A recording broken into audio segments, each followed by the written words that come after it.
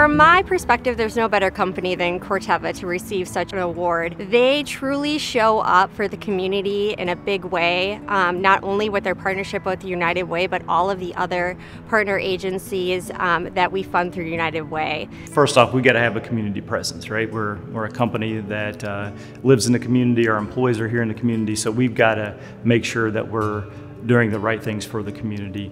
I think of food insecurity in Midland County, based on 211 data, that is the number one call. People are calling because they are food insecure.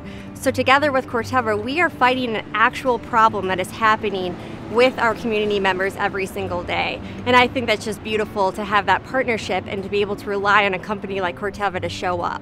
Midland Blooms is actually a costly endeavor because there's a lot of human interaction with the plant material to make it look beautiful, and we know that uh, talent is almost more costly than supplies. Anytime you're investing um, into the area, you're growing, which is a great thing, and it's great for the community to see.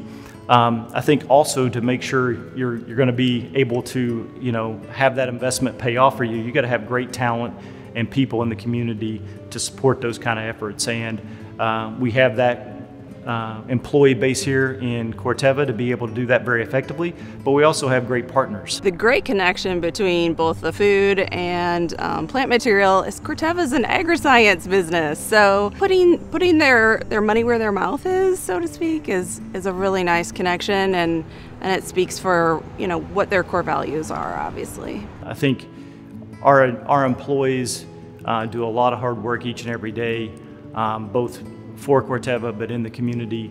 And anytime you can be recognized by an external group, it just shows that that hard work pays off. They're the ones that deserve all the credit.